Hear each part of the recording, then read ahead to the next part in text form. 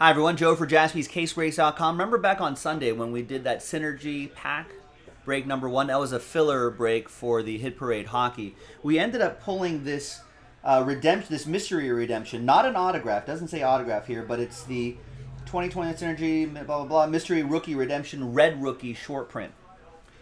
So if we go to the cardboardconnection.com checklist, there's the base mystery rookie redemption red checklist. All the other one, all the other sets are autographs right here, but this, the red checklist involves uh, Alexander Romanov for the Canadiens, uh, Kirill Kaprizov for the Wild, and Dylan Cozens for the Buffalo Sabres.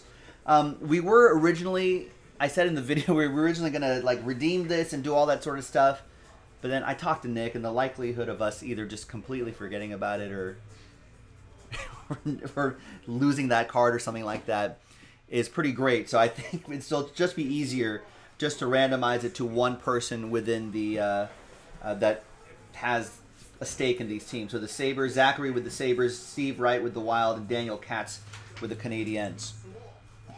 So name on top will get that um, short print.